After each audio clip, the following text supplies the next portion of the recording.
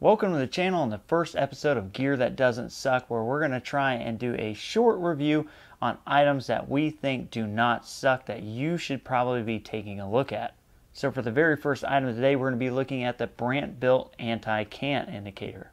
First of all, this is not a level. This is meant to be used as an add-on to your existing Send It level. So if you have an MV3 or an older model, the Brandt built anti-cant device will work. And all it does is replace your original housing with their housing and it comes with a kit where you can extend the optics back to the ocular scope.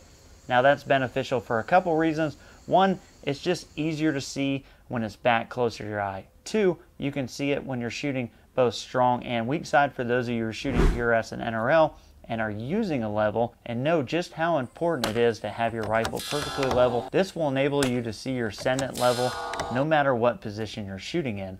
Now, this does cost just under $100, so for what you're getting, I actually think this is a really good deal. This is very well thought out, no frills, and it's going to come with all the parts and pieces you need to make this. One of the other benefits that I think most people aren't thinking about is when you have a traditional setup with a Send It and if it's attached to your pick rail, that thing sticks way off the side of your rifle. It sucks when you're putting it in the case. Sometimes you need to remove it to put it in a case, and I don't really like having things that hang off that far. Mine was installed previously with a 90 degree mount, and I did that so that it tightened up that package. But it wasn't great for being able to see it and it just wasn't visible at all when I was shooting support side.